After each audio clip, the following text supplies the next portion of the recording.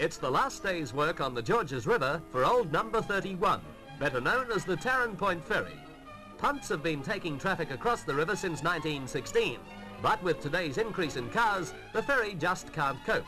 So motorists have to sit and wait, and wait, and wait.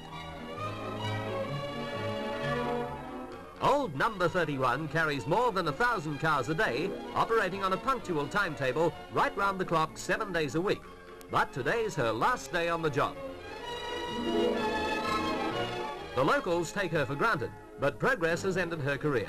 Number 31 has been replaced by a new bridge, built at a cost of 1.6 million pounds, and 30,000 cars will use it every day. The Captain Cook Bridge is opened by the Governor of New South Wales, Sir Eric Woodward. It is 1,662 feet long and there are seven concrete spans. The local youngsters want to be the first to cross. They're in a hurry, but down there the old punt is stopped forever. A new bridge to help ease Sydney's traffic problems.